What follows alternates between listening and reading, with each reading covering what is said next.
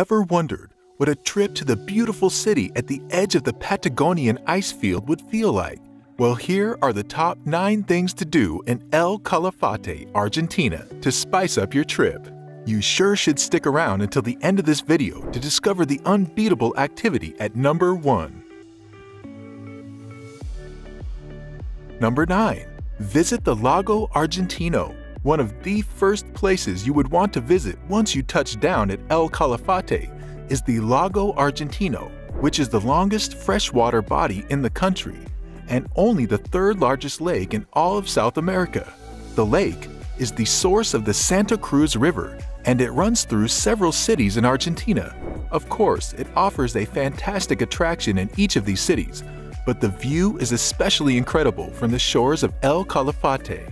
The Lago Argentino also features fantastic activities like kayaking and fishing, so if you are a fan of fishing, you can come along with your fishing gear for a fun time, catching the lake trout, rainbow trout, and even perch. However, you must ensure to get a permit from the lake authorities first to avoid breaching the rules. It doesn't matter whether you opt for fishing, kayaking, or other activities in this beautiful location. One thing is always sure, and it's the fact that visiting Lago Argentino is a great way to start your fun-filled tour around El Calafate. Number 8. Spend the night at an estancia. Of course, you have a series of luxury hotels to lodge in during your stay in El Calafate, but you certainly do not want to miss out on spending a night or two in an estancia. Estancias are large farms, often set aside for rearing cattle, but then most of them now feature accommodations for visiting tourists. This is so they can also experience the exciting farm life. Of course, you can indulge in several activities in an estancia, including horse riding, which offers you a first-hand cowboy experience. Another reason to visit an estancia during your stay in El Calafate is the awe-inspiring views you are set to enjoy. These horse ranches are always surrounded by the most exciting and enjoyable sceneries that are sure to blow your mind away. Moreover, you are in for the treat of a lifetime with the delicious meals and top-notch hospitality you will enjoy from the ranch keepers. Trust me, spending a night at an estancia promises an experience you won't forget in a hurry. Number 7. Drink the craft beer. No doubt, your days in El Calafate can get very busy with the dozens of fun-filled activities you have to catch up with. But then, there's only so much activity your body can take in each day before it needs refreshing. And how better to get refreshed than tasting the excellently brewed local craft beers in the city? The craft beers in El Calafate are like no other, and you always want to end your evenings on a high by enjoying the best brewed beers in town under the clear night skies. You can also enjoy the best of local music while carrying on with your wine tasting in El Calafate breweries. Number 6.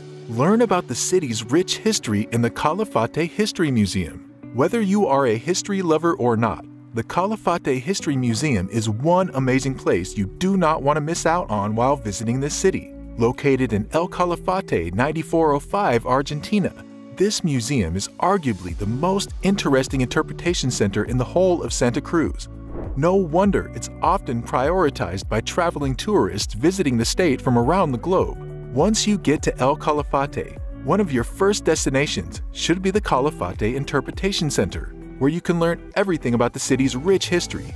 There are traces of over 100 million years of history, including dinosaurs, big mammals, humans, and environmental records sure to leave you amazed. Besides, you would feel a lot better on your tour knowing the incredible story behind every tourist attraction in the city.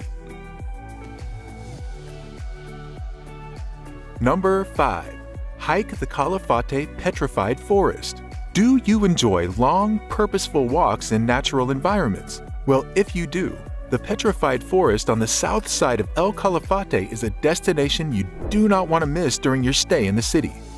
It surely is time to pick up your boots and head out on a hiking adventure over the river and through the woods. Of course, there are plenty of hiking destinations in El Calafate, but the Petrified Forest, also called La Leona by the locals, boasts one of the best views in Santa Cruz. Just less than 110 kilometers from the city, La Leona Woods promises a great hiking experience for you and your traveling companions. The forest stretches about 7 miles, giving you enough opportunity to experience the petrified trees and shrubs that make the forest unique. You also want to keep your eyes open so you won't miss the antiquated dinosaur bones along the forest paths. What's more, even if you are visiting alone, you will always find companions with whom to go up to the forest. So just know that you are sure to have a fulfilling hiking experience leaving happy trails across La Leona. Number 4. Eat the grilled Patagonian lamb. You certainly would not want to pass on the opportunity to delight your taste buds with delicious local dishes during your visit. Grilled Patagonian lamb, or lamb al asador, as the locals call it, is one of the many mouth-watering meals on the menus in local restaurants you should try. This delicacy has been labeled a traveler's favorite due to its high demand among tourists. Of course, you can take a moment to savor the sweet-smelling aroma as the lamb is prepared on a stake over the local grills.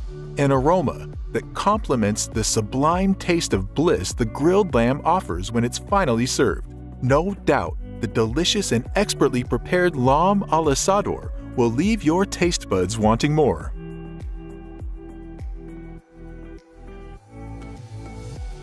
Number 3. Go horse riding at Nibepo Aike if you prefer to lodge in one of the exotic hotels rather than an estancia, but still crave the wild experience of horse riding, then you must turn your attention to Nibepo Aike, located in El Calafate and set on a sheep farm. The estancia Nibepo Aike has a multifunctional rural accommodation, but still opens up its doors to tourists who are after daytime horseback riding. You can still enjoy the fantastic experience regardless of where you choose to stay.